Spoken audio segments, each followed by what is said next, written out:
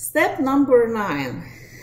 A manipulator will position himself as being more powerful and capable than you. And this is a, a picture from the movie um, Devil Wears Prada. Uh, so, a manipulator will always position himself as being more powerful. And you might heard uh, phrases like this, because I know better than you, because I just know it, you should do it. Why? Because I just said so, because I just know it, or because I've been in a situation like this. And the manipulator will not give you chance to think or to argue. Uh, a manipulator can say something like this because i'm your mother therefore i know better because i'm your father therefore you will do what i say. Because i'm your best friend i have known you for years. Therefore i'm telling you you should do this. Stop asking why. Just do it. I'm your best friend. This i know exactly what you need. I have known you since childhood. Because i'm your husband you should listen to me. So please write in comments or uh, below in comment section when you're gonna watch this video later. What other phrases come to your mind? What else people can say when they try to position themselves to be more powerful than you? Okay, number 10. A manipulator will have thousands of excuses. Always, always, always, always. Uh, you probably have met a person who always has an excuse. No matter the situation, no matter what you say to him, he will always have an excuse. Uh, it's like there is not even a point to starting a conversation with this person because he's always right. He always has something to say uh, he always have somebody to blame, other person, the situation, but he always has to prove that he is right. So do you know those people? And what to do? What to do if you have this skilled manipulator who always has an excuse? And my advice to you is to do nothing absolutely nothing. Simply ignore this type of behavior. Because if you say something, he will come out, come up with an excuse. You say something else, he will come up with another excuse. So do nothing, say nothing, ignore. Just ignore this type of behavior.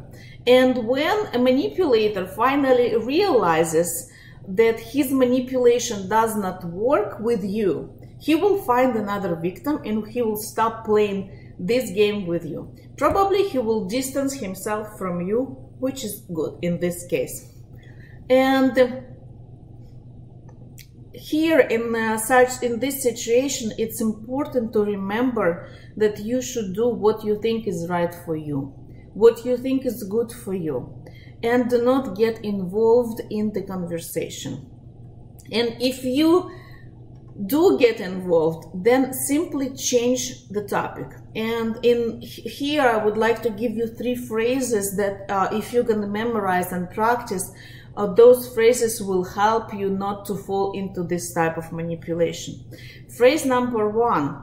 By the way, I also wanted to talk about. So when a manipulator is uh, giving you his excuse, just interrupt him right away also you know use the manipulation number one right? Interrupt the manipulator in order to break his manipulation. So say by the way i also wanted to discuss phrase number two. Did i mention that? And you can talk about anything else. Just switch the topic. Did i mention that uh, did i mention that uh, um, my friend is coming next week. Oh, did I mention that this, this, and this happens? So just switch to another topic. Phrase number three.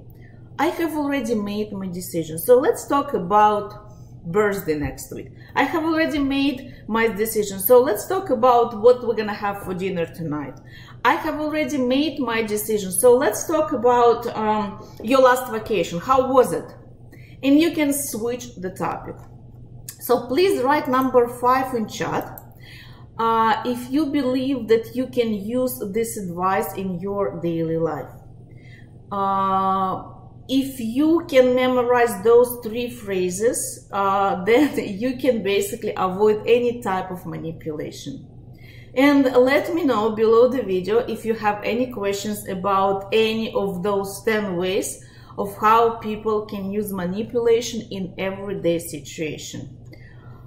Let me know what was the most important thing for you uh, in today's webinar.